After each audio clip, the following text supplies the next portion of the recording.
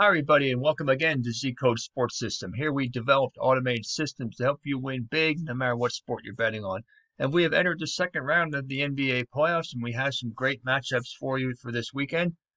First, before we get into these matchups, remember to join, and you'll have access to this VIP club section that has all these great tools to help make your picks uh, successful every single week. So please check this out.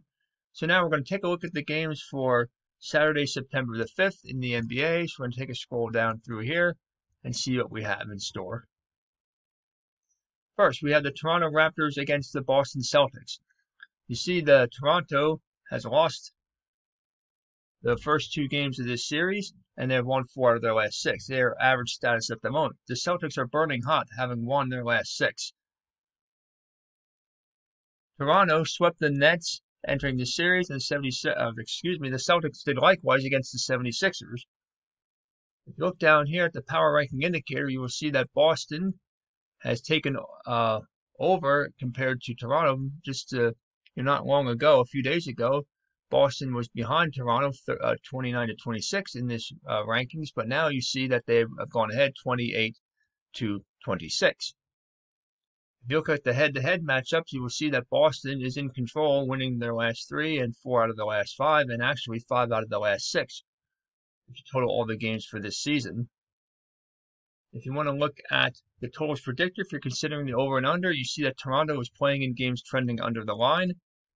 Boston is also playing in games trending under the line, so betting the under is a wise play in this one, so expect a good defensive battle. If you want to see how stable the two teams have been, how well are they performing according to their favorite underdog status? You'll see here that both teams are very stable. Toronto here is at plus 35. Boston is at plus 28. So what can we expect from this game? I think that it will, again, I think it will be a low scoring game, pick the under. And the gut feeling is, though, that the Raptors will have enough to eke out a win so as not to go down 3 0 in the series. The next game is the Denver Nuggets and the Los Angeles Clippers. The Nuggets are burning hot at the moment. You can see they've won their last three. The Clippers are burning hot at the moment also, and they have won their last two and four out of their last six. The Nuggets entered the series after taking down the Utah Jazz in seven games in the first round, and the Clippers needed six games to overtake the number seven seed Mavericks. If you look at the power ranking indicator, you can see that both teams are on an upward trend, but see Denver on a more of an upward trend, and teams are deadlocked at plus 23. This is going to be a very, very good matchup. If you look at the head to head matchup for the season, you see the Clippers have won the last two by a substantial margin, but then the Nuggets won the first two by a fairly substantial margin as well. So you can see it's very even. Both teams are burning hot at the moment. If you're looking at the uh, totals predictor, if you're considering the over and under, look at this. Denver is playing in games well over the line, as is the Clippers well over the line. So this should be a very high scoring, entertaining affair. So bet the over in this one. If you want to look at the volatility, how stable are the two teams? Both teams, again, are showing stability and not a surprise. This is playoff basketball, so most of these teams should have a pretty high ranking in this category performing consistently according to their favorite underdog status. I'm looking at a high scoring game once again, so bet the over, and I think the Clippers have enough to edge the Nuggets, perhaps even doing so in overtime. So those are the games for the 5th. Now we're going to switch over to the games for September the 6th. There's, there's two matchups for that day as well. So we'll take a look at them now. So if we look at these games, we see we have the Milwaukee Bucks and the Miami Heat. The Bucks are average at the moment. They have lost the last two, and that's the first two games in this series. Miami is burning hot at the moment. They have won their last six. The Heat swept out the Pacers in the first round, and the Bucks needed five to take care of the Magic. You see the stats average at the moment for Milwaukee, and the Heat are burning hot. See, now we'll look at the power rankings indicator. You can see now that Miami has overtaken Milwaukee now after this two game winning streak. They're up to plus 26. You see Milwaukee, they were at plus 20 and they had dropped significantly now down to plus 22.